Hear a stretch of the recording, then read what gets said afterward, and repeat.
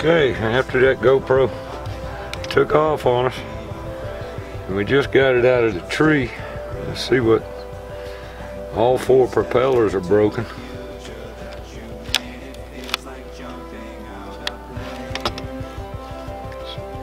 Looks like all the legs, those two legs are working. Those two legs are working.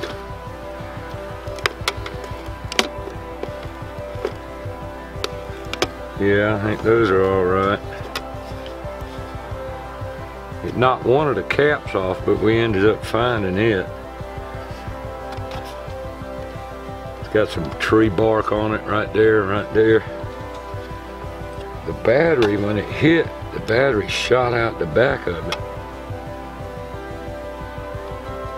Doesn't appear to be anything broken. Camera looks like it's in pretty good shape. I'm hoping that we were filming when it happened. That's going to be pretty cool if it is. So it looks like four propellers.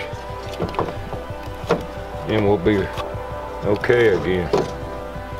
We'll have to take this camera out and charge it up, I'm sure. Uh, anyway, that's what that's what happens. When you fly a drone, you're gonna end up hitting something.